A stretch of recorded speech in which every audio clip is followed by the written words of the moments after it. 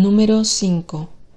Su nahual o regente es Tlazolteotl, divina basura. Su ave preciosa es el cuervo. Nombre náhuatl, Macuili. Nombre maya, Jo. Nombre quiché, Jo. Nombre totonaca, Quitsis. Nombre zapoteca, Gayu. Nombre mixteca, Uun. Nombre otomí, El 5 representa la ruptura, los errores, la transgresión y la responsabilidad.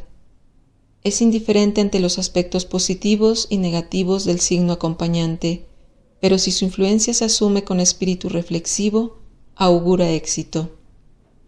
El signo de muerte es el sexto de la veintena. Su nahual o regente es Tecusistecatl, el caracol marino.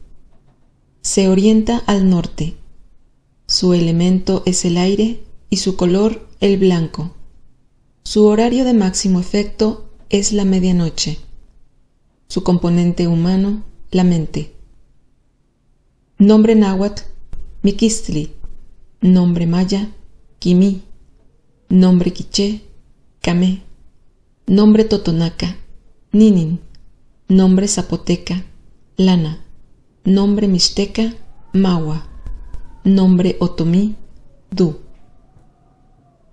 El signo de muerte representa los cambios, las modificaciones físicas, emocionales y mentales, la renovación de las cosas, la apertura a nuevas realidades y relaciones, el renacimiento espiritual y la liberación de las ataduras. En nuestra historia personal, la muerte simboliza el inicio de la sexualidad, la adolescencia, los amores y los momentos en que nos enamoramos. Los días en que rige la muerte son buenos para profundizar y descubrir lo oculto.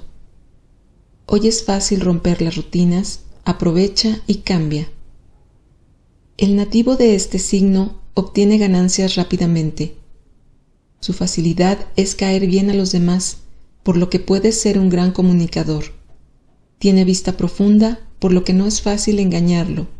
Sabe poner un escudo cuando le desean mal tiene facilidad para innovar y explorar nuevas dimensiones. En el aspecto negativo, quienes aquí nacen pierden tan rápido como ganan y tienden a preocuparse en exceso, a caer en la melancolía, el desánimo, la depresión, el olvido y la tristeza. Consejo tolteca. No cambies lo grande por lo pequeño. No mates la gallina de los huevos de oro. Cultiva tu voluntad y tu carácter, o podrías perder cuanto has ganado.